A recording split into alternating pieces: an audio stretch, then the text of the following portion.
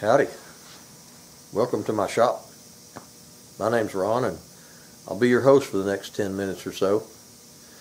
Uh, being a fourth generation carpenter, wood is my, uh, that's my language. It's my living, it's my hobby, it's my passion. One of those passions is making stocks. I've never had any formal training in this. I just wanted to put a piece of wood on a, on a gun one day and, and I uh, seemed like that'd be a, a, pretty unique challenge, so I tried it. And uh, been going at it ever since, but um, honestly, I owe, I owe a lot of my success to my customers, my friends that have suggested this or that, different ways of doing it for, for to produce a better outcome. And so uh, I appreciate them. I owe them a great deal. The finish that I use was suggested by a friend of mine that owns a gun shop in Georgia, a guy, a guy named Dan. Uh, been friends with him for many years, and and I and I owe him for that knowledge. So uh, I don't suggest that my way is the only way. Uh, that's that's just not the case. Um, I picked up my my um,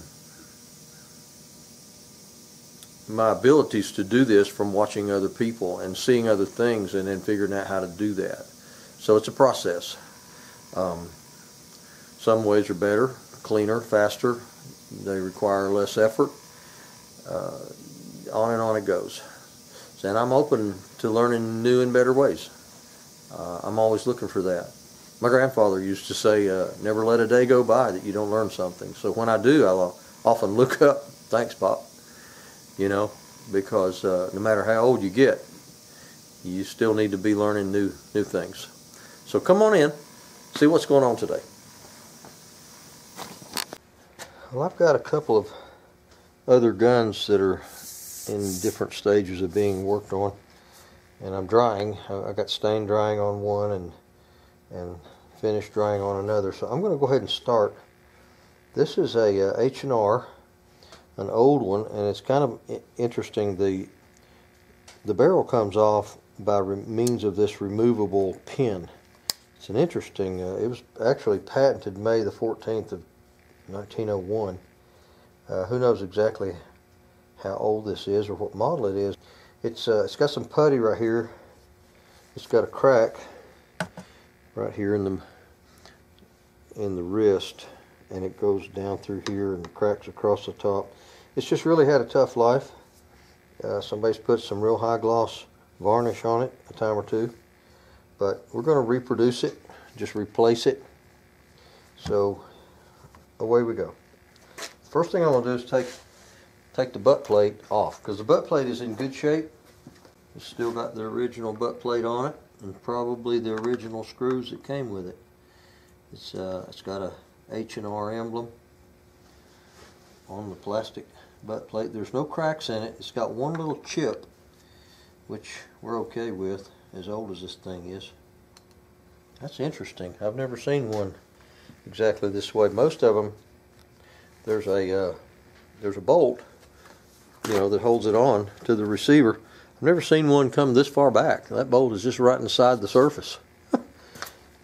Makes it easy to see and get to. These guns typically didn't have a lot of fancy grain to them.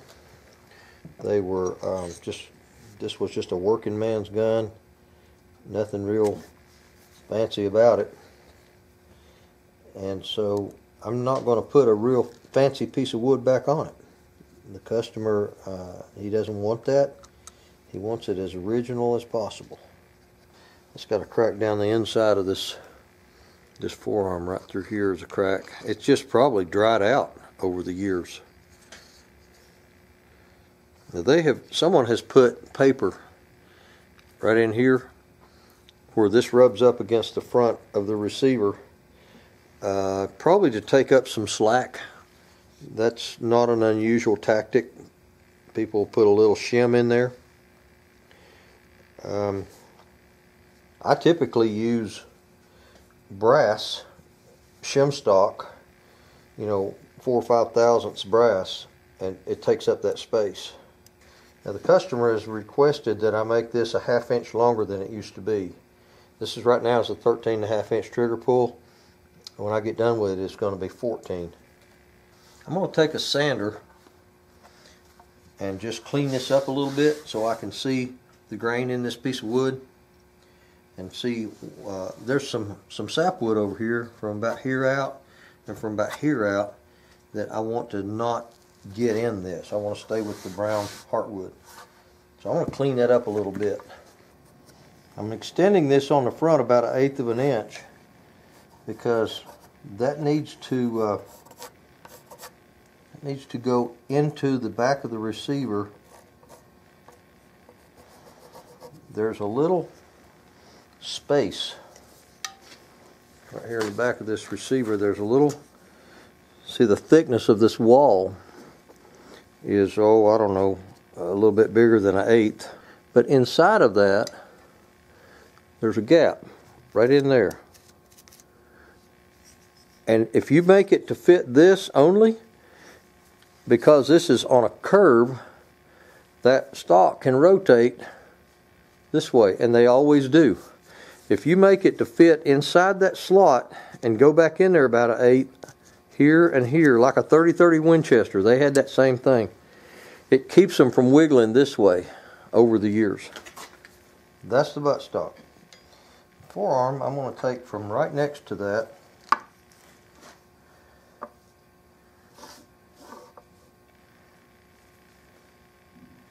and I'm going to uh, the the customer has requested that I make this thing a teeny bit bigger longer and fatter than what it used to be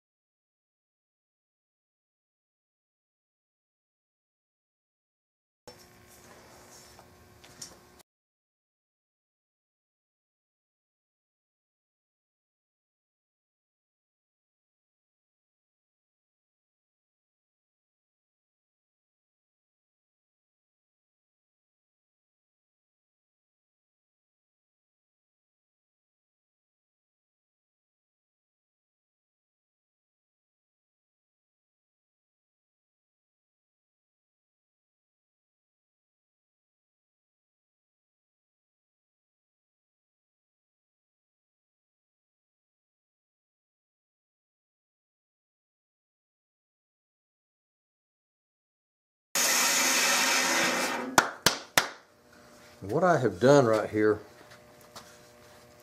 is I have started my cuts up here at the front of this where this pencil line is and I've started my cut here at the top of the comb and this end of the forearm here. I've, I've started my cut going this way. This is a straight line. This is a straight line and this one I can draw off the other one. I have a bow in this piece of wood. It curves that way and I got plenty of meat, I got plenty of wood here. So what I'm to do is straighten this thing with this and this together. I'm to run it through my planer and I'm to make this thing uh, a little thinner, but it's also it's to it's going to straighten it this way. And so these lines will be gone when I get done planing, and so I had to mark these lines with a cut to put them back and be able to redraw them.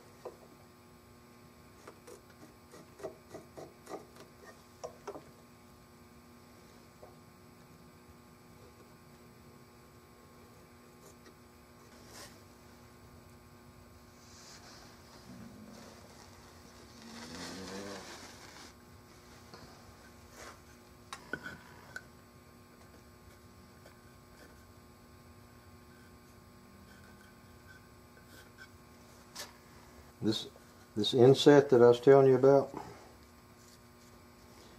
I'm going to make that thing an eighth of an inch.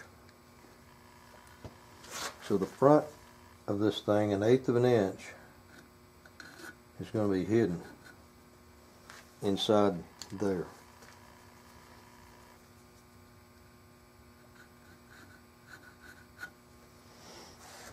And then this surface here has got a bevel. It bevels in. I don't know what the angle is. It's probably 12, 15 degrees, but it bevels in to make it bigger on the inside than the outside so it won't come out. As it pulls tighter, it presses it in. And what keeps it from collapsing is the sides are against here.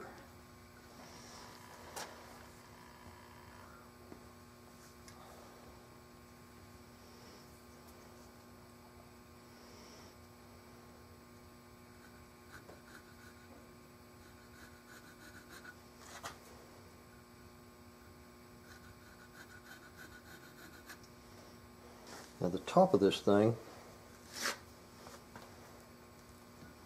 comes in about that far. And it forms a semicircle in the back of it.